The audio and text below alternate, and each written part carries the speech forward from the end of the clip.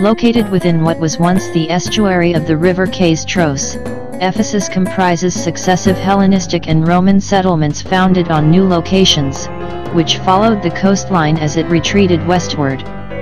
Excavations have revealed grand monuments of the Roman imperial period, including the Library of Celsus and the Great Theatre.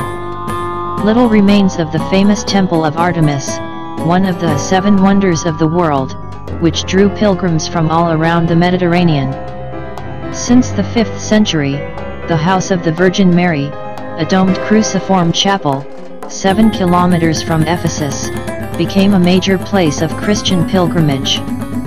The ancient city of Ephesus is an outstanding example of a Roman port city, with sea channel and harbor basin.